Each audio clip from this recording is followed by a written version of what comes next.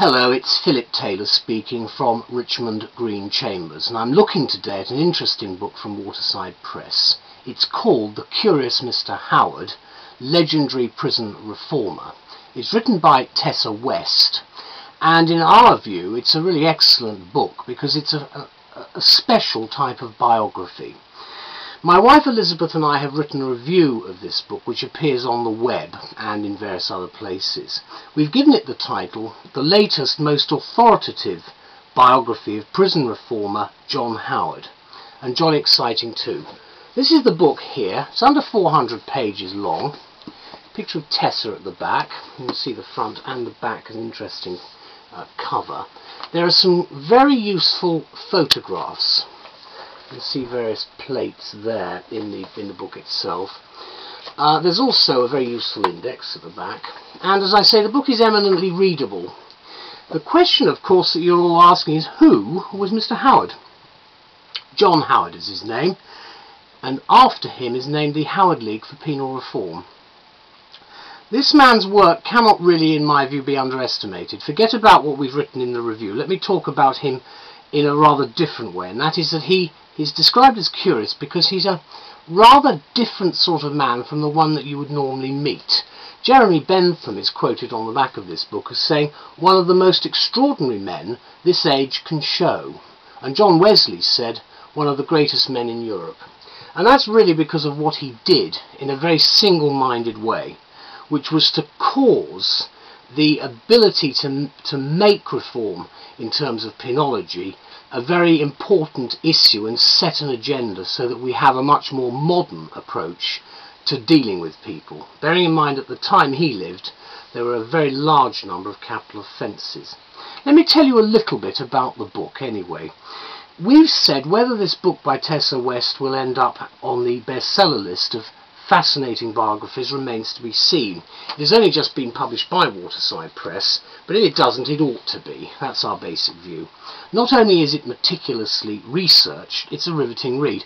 We met Tessa not very long ago, and she explained to me that she'd certainly put a huge amount of effort and uh, research into this book and she was coming at it very much more from the point of view of, of, of social issues and, and biographical uh, detail rather than the legal context which I'm really looking at today.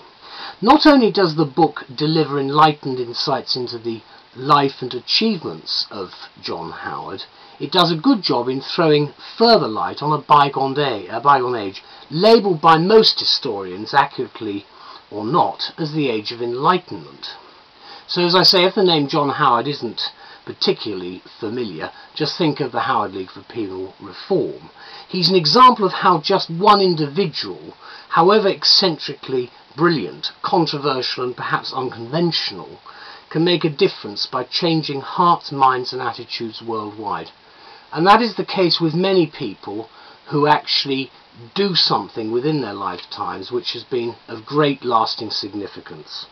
Now, as West has said, the reputation of Howard rests squarely on his philanthropy and his efforts as a prison reformer. His key achievements were to visit numerous prisons in the British Isles and in many other countries, recording the terrible conditions he found. And then he obviously present, uh, presented this in various publications. The intention was to convince people of the need to, uh, to improve prisons. The book itself covers the, it's about just under 400 pages, it covers the entire span of Howard's life. It looks at what he did. He was indefatigable, clearly, and eccentric. What is doubtful is that he was in any way mad or seriously disturbed, or that if he had lived today, he would have been diagnosed as suffering from autism or Asperger's syndrome. These are unfortunate comparisons, but West more or less dismisses these matters, although she concedes and said to us, looking at Howard through this lens does offer some perspective on his peculiarities. I'm not going to dwell on that because I think it's his record and what he did which is the most important thing. Prisons in Howard's time were used mainly for people on their way to the scaffold or transportation. Apparently uh, there were both public and private prisons, the latter being little purgatories, halfway houses between imprisonment and liberty. Bedlam, of all places, was in this category, and West shares the, in, the insights of her amazingly detailed research into original sources to reveal just what these establishments were like uh, before the curious Mr. Howard established himself almost single-handedly as the champion of the most despised people on earth. I think it's a very important book and it will be one that will be of interest to anybody who covers this field of criminal law and sentencing.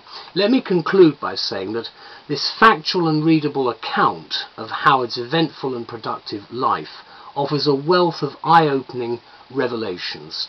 Definitely this volume is a must-read not just for anyone interested in social history or criminology or the 18th century, but for the general reader as well, and anybody who's interested, as I say, in this particular area.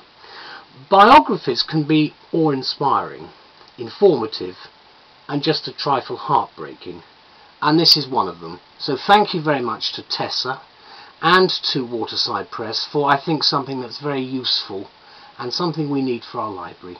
Thank you very much. Bye bye.